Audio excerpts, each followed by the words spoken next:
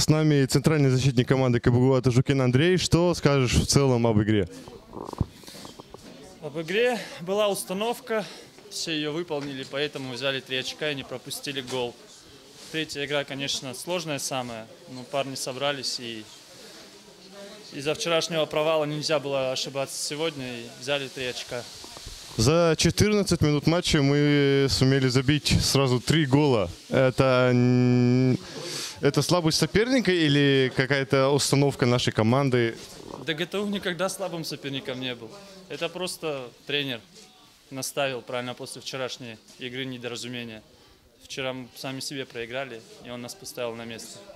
Команда соперников очень хорошая. Это не за то, что они слабые. Просто для нас нашли нужные слова. Вот мы и забили. Слушай, спасибо за игру.